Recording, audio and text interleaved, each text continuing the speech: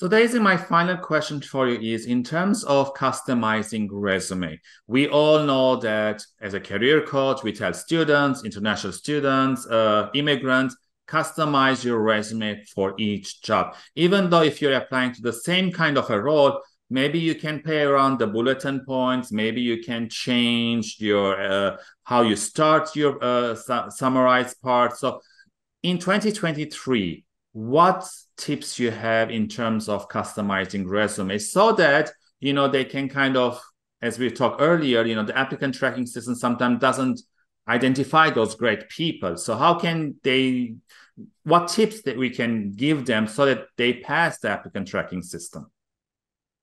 All right.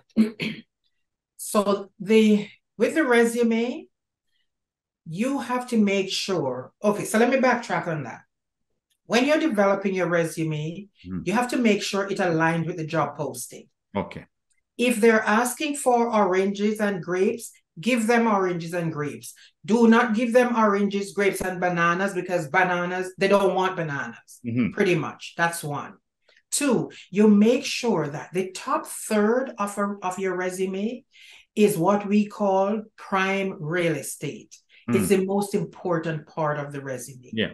So you want to make sure that the the the most important achievement or accomplishments that you have, make sure it's contained in the third part, in the top third yeah. of your resume. So that's where your brand statement or your elevator pitch, those kind of, of mm-hmm. verbiage would come, would would um would come. So that's it. Because recruiters they spend between six seconds and depending on who you're talking to, and maybe six to 30 seconds if so much yeah. on the resume so you want to capture their attention mm-hmm. so what when you want to capture their attention you put info, important information right in the top if you were made some excellent um if you have some excellent accomplishments at a company you worked with some years ago, do not wait until you get to that part of your, your work experience, part of the resume to, to say that. Say that up front because when yeah. you put it there, it forces the, rec- the recruiter will be so captivated by it Great. that they will want to read through your full resume. If they don't see what they're looking for, in that top third of the resume, they're gonna throw throw your resume away, even yeah. though you would have been um been a great great candidate. The other thing I would advise is a lot of people still put mm-hmm. objectives on their resume. Yeah. And that's a no no because it only takes up space. It yeah. is too me centered, mm-hmm. meaning it's focused on you, not on the employer. The employer doesn't care that you want a challenging a challenging job where you can in 2 years move up to vice president. they don't they don't they don't care about that. They yeah. want to know what is it what are you bringing what value table. are you bringing to me? How can you help me? How can you how can you what solution can you find for the pain that my organization is going through and you mentioned that when they're saying orange, give them orange. I also tell my clients and the students if they're using excellent customer service, use those keywords because those are part of the applicant tracking system, right? That's key. That is so important. And I'm glad you touched on that.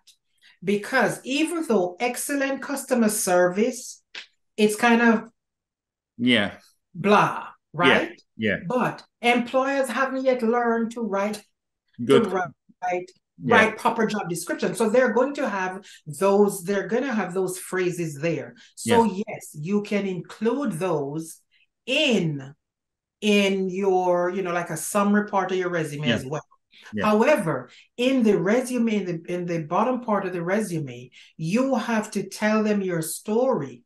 Yeah. You have to tell them how you qualify to how what made you, what did you do Mm-hmm. Why you're saying you can you can you offer excellent customer service. Yeah. Tell them how yeah. you were able to main to maintain or recapture customers who had long gone and so on. You know, so it's not just about the fluffy wording. Yes, but you have to have the proof. Yeah, and so excellent customer service. Prove it. Prove it. Yeah, mm-hmm. and one final thing we know that chat gtp is here and it's not going away. And a lot of times i've seen even career catchers they are explaining how to use chat gtp and they're saying that this is like a first draft. You don't have to copy paste and give it but it will help you make make better time and management everything. What are your thoughts about that?